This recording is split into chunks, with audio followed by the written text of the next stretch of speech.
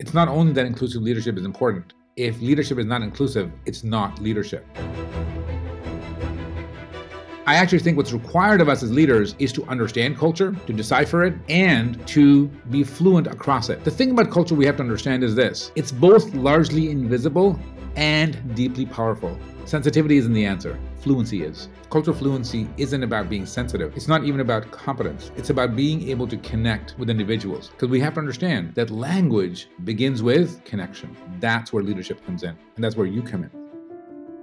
Participants in the program will get a chance to hear from leading academics. More importantly, they'll hear from those that are translating these phenomena into daily practice from across sectors.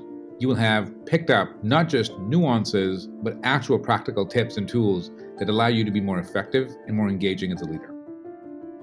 The need for inclusive leadership, impactful leadership, Leadership that challenges this notion that leadership is in a crisis of credibility is more needed now than ever before. Please join us for this expertly curated online learning experience.